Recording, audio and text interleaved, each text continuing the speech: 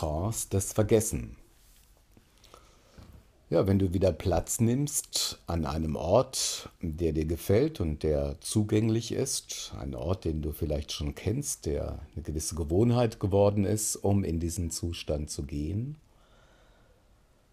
und dann Platz nimmst und während du Platz nimmst, schon einfach wahrnimmst, was hier so da ist. Wie fühlt sich der Platz an? Ist er hart? Ist er weich? Spielt gar keine Rolle, ob er weich oder hart ist. Das ist einfach der Platz, auf dem du jetzt sitzt, auf dem du Platz genommen hast. Und du hörst die Geräusche um dich herum. Immer sind die Töne auch anders. Zu jedem Zeitpunkt, in jedem Augenblick deines Lebens gibt es andere Geräusche und andere Töne. Da gibt es die menschlichen Stimmen, da gibt es die Verkehrsgeräusche, da gibt es die Tiere, die da sind, besonders die Vögel. Da ist deine Atmung, deine Atmung, die dich immer begleitet. Und diese Atmung ist auch immer unterschiedlich. Manchmal gibt es tiefere Atemzüge, manchmal oberflächlichere Atemzüge. Manchmal scheint die Atmung still zu stehen und ist ganz flach. Es gilt keinen besonderen Weg der Atmung zu gehen, sondern der Weg der Atmung ist genauso wie die Wege in deinem Leben sehr, sehr unterschiedlich, mal flacher, mal steiler, mal einfacher zu gehen, mal vielleicht schwieriger zu gehen. Deine Atmung findet immer wieder statt, automatisch. Und du kannst dich dieser Atmung, deiner Atmung hingeben. Und du weißt ja, in deinem Leben begegnen dir viele Dinge, die da sind. Im Laufe der Zeit lernst du dir persönlich immer wieder die Geschichte oder Geschichten deines Lebens zu erzählen, Geschichten, die wichtig sind. Ereignisse, Begebenheiten, die da waren in deinem Leben und die wichtig waren. Egal, wie sie konnotiert sind, ob sie negativ waren oder positiv, ob sie angenehm oder unangenehm waren, spielt keine Rolle. Es waren einfach die Ereignisse, die stattgefunden haben in deinem Leben. Und du erinnerst dich dann und wann an diese Dinge. Hm, das kann plötzlich kommen, wenn du irgendwas betrachtest, irgendetwas stattfindet, wo du vielleicht gar nicht dran gedacht hast dass jetzt so eine Erinnerung hochkommt und dann ist die Erinnerung da. Und dann darfst du dich mit dieser Erinnerung ein bisschen beschäftigen auf deine Art, indem du dir einfach erinnerst und sie dann wieder vorüberzieht, was auch immer. Und diese Bewusstwerdung, wenn sie dann stattfinden will, ist etwas sehr Wichtiges in deinem Leben die Dinge, die so kommen, anzunehmen und nicht zu verdrängen und sie entstehen zu lassen, weil sie sind an sich sinnvoll. Sie machen immer Sinn, damit umzugehen, wenn es dann sein möchte.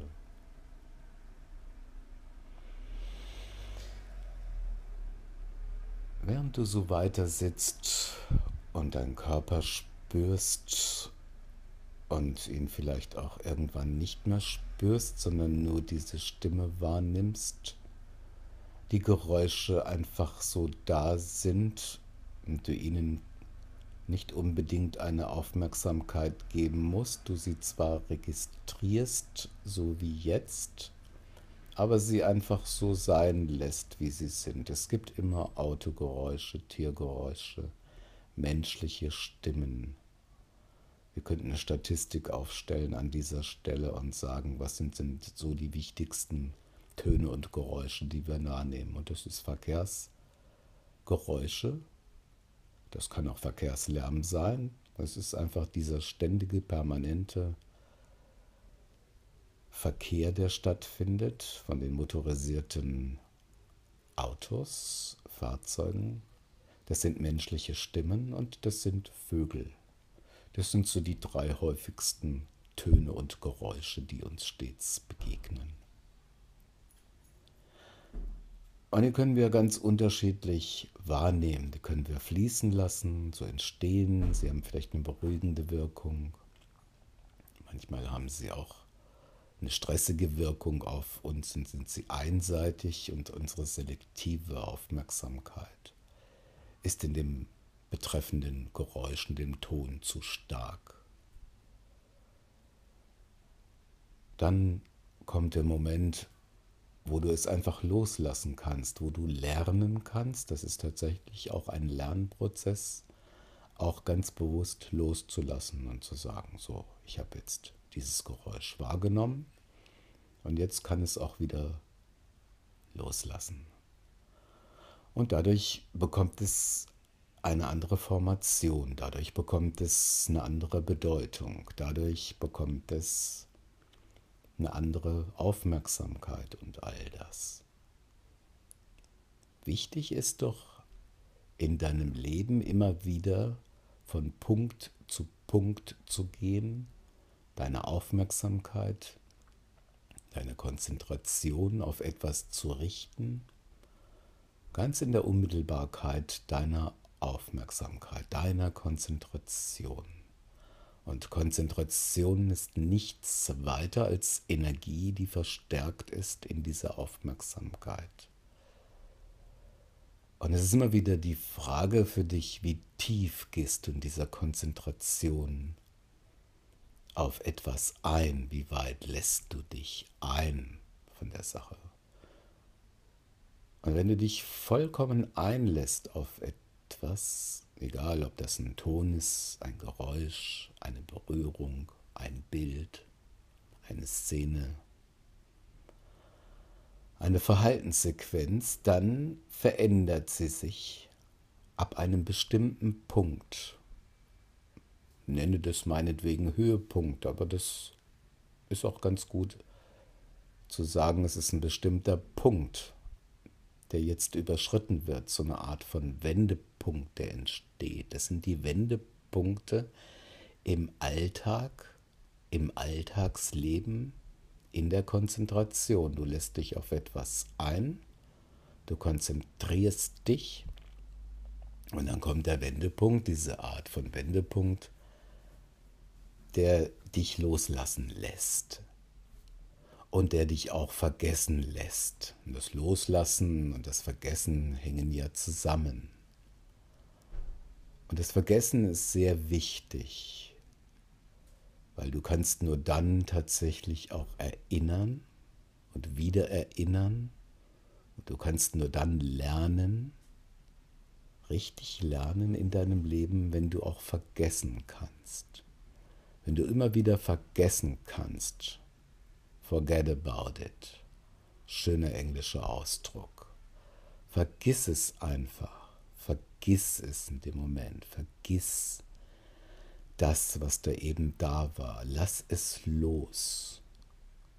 Und es wird in dir vermerkt sein, denn all das, was dir je in deinem Leben begegnet und begegnet ist, begegnen wird, ist nicht verloren sondern hat seinen besonderen Raum, seine besondere Zeit, seinen besonderen Platz in dir.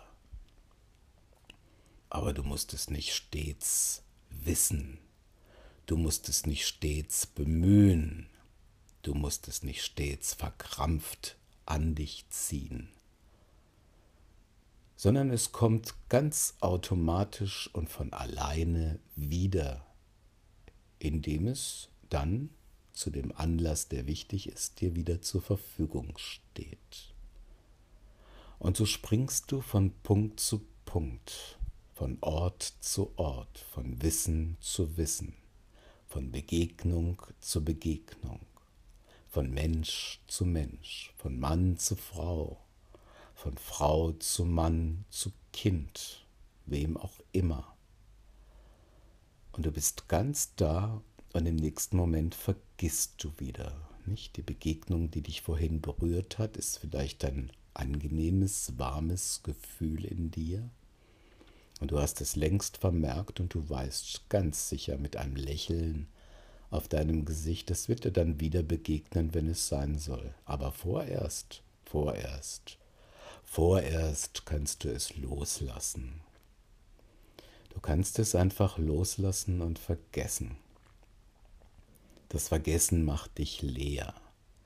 Das Vergessen generiert alles, weil in dem Vergessen alles in Wirklichkeit vorhanden ist, das du benötigst für dein Leben.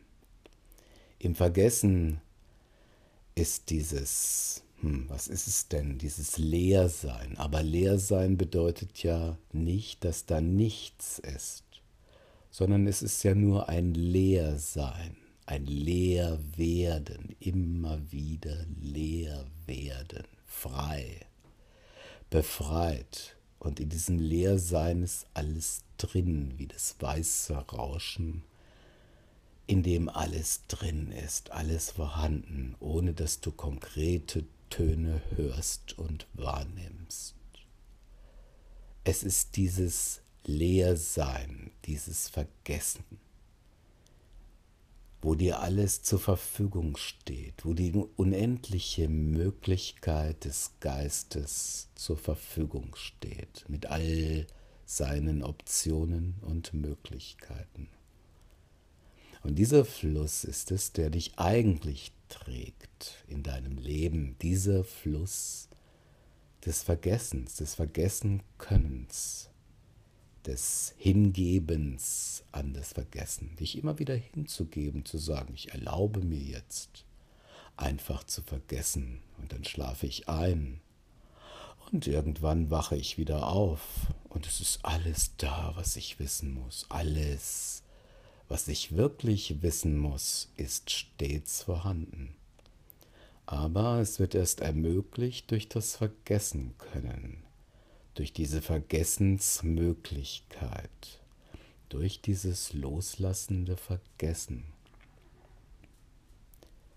das alles macht und aus dem alles gemacht ist. Und die Wirklichkeit sieht vielleicht so aus, dass du diese Inseln, diese Punkte, dieses, was da herausragt aus dem Vergessen, immer wieder betrachten kannst und dem einen Sinn gibst, einen Zusammenhang gibst und es dadurch für dich etwas Besonderes ausdrückt.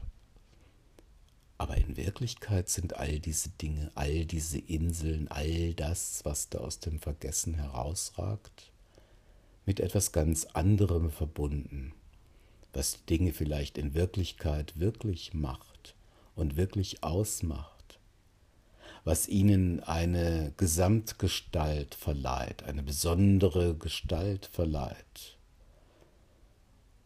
einen großen Körper, was auch immer, wie auch immer du es ausdrücken möchtest, das hat was mit Göttlichkeit zu tun, mit Gott, mit Leersein und all diesen Dingen, die da möglich sind. Ganz so, wie du es entdecken magst. Das muss nicht gelehrt werden. Du musst es nicht glauben. Du musst dich nicht an irgendwelche Glaubensrichtlinien festhalten oder hochhangeln. Es ist einfach so vorhanden. Und so ist es möglich, dass du jetzt in diesem Zustand das erfährst, was wir meinen, was wir meinen. Deswegen spricht man auch sehr gerne von dem Wir, von diesem Gemeinsamen, das wir ja in Wirklichkeit auch stets sind, dass wir meinen mit dem Vergessen. So wichtig zu vergessen, einzuschlafen, zu ruhen, zu meditieren, bewusst im Wachzustand loszulassen und im Wachzustand zu vergessen, in der Unmittelbarkeit dessen, was da jetzt da ist, wenn du da sitzt. Diese Stimme, und in dieser Stimme werden die anderen Dinge transportiert und ermöglicht, dass sie sich wieder neu zusammensetzen, eine neue Bedeutung finden oder die bestehende Bedeutung unterstreichen. Und all das geschieht, was immer wieder da ist. Und du bist wie ein Boot auf einem See, auf einem Meer, wenn du willst. Und dieses Meer ist dieses Vergessen und dieses Meer ist dieses Nicht-Tun, ist dem, wo alles zusammengefügt bist. Aber du bist doch immer wieder auf diesem Boot und kannst das Boot steuern, steuern auf diesem Meer. Und das Boot trägt auch von alleine und so gestaltest du dein Leben. Unter dem Boot ist das Vergessen. Unter diesem Boot ist all das, was du brauchst, um dein Leben bewältigen zu können. All das, was du brauchst, um es bewältigen zu können. Und so bist du in diesem Zustand und genießt es, gehalten durch diese Worte, begleitet durch diese Worte, die deine eigenen Gedanken und Worte sind, die dein Leben modellieren, die dein Leben unterstützen, die deinem Leben einen Ausdruck geben. Und die Worte sind nur Worte, sie sind wichtig und gleichzeitig auch nicht wichtig. Sie sind eine Möglichkeit dieses großen Potenzials. Und insofern erlaubst du dir immer wieder die Dinge auch bewusst zu vergessen und bewusst loszulassen. Nicht erst dann, wenn du vollkommen erschöpft bist und nicht mehr anders kannst, dein Organismus nicht mehr anders kann, als automatisch loszulassen. Volle Erschöpfung nicht wie viele Menschen gibt es, die sich vollkommen erschöpfen, weil sie etwas absolut wollen in einer bestimmten Richtung, vollkommen ankleben an der Sache, es absolut manisch davon überzeugt sind und möchten und möchten und es entgleitet ihnen und dann müssen sie voller Erschöpfung loslassen, da werden sie ohnmächtig. Das ist gar nicht notwendig, sondern wenn du dem Rhythmus deines Lebens folgst, dann merkst du immer wieder, es gibt diese Momente des Vergessens, die automatisch eintreten. Und das trägt dich in deinem Leben.